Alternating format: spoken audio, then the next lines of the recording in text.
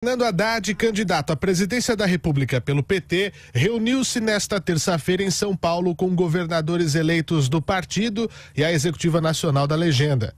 A intenção do encontro foi de fazer balanço da campanha e ajustar diretrizes para a disputa do segundo turno.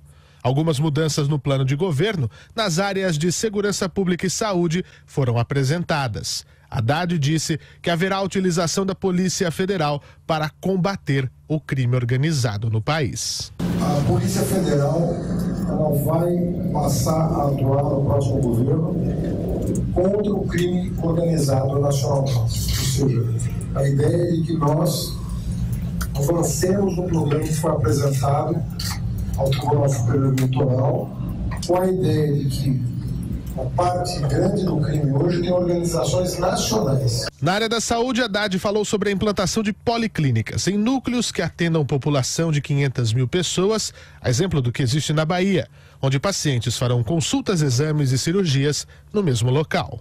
Jacques Wagner, senador eleito pelo PT na Bahia e novo coordenador da articulação política da campanha de Haddad, disse não estar preocupado que o mercado tenha optado por Jair Bolsonaro, candidato adversário do PSL. Não podemos interferir.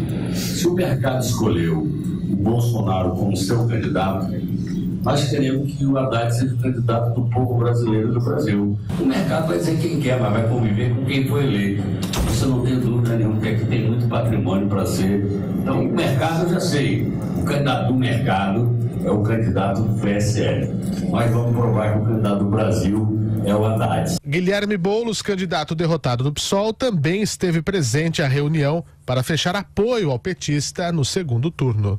Declarar o nosso apoio integral ao Fernando Haddad é, agora nesse segundo turno, porque o Haddad representa nesse segundo turno o lado da democracia, o lado dos direitos sociais. Outra definição para a campanha é que Fernando Haddad viajará menos, já que o período é de apenas três semanas. O ex-presidente Lula, que segue preso em Curitiba após condenação em segunda instância pela Lava Jato, segundo o partido, disse que não quer mais visitas de Haddad até as eleições, para que ele tenha foco total na campanha.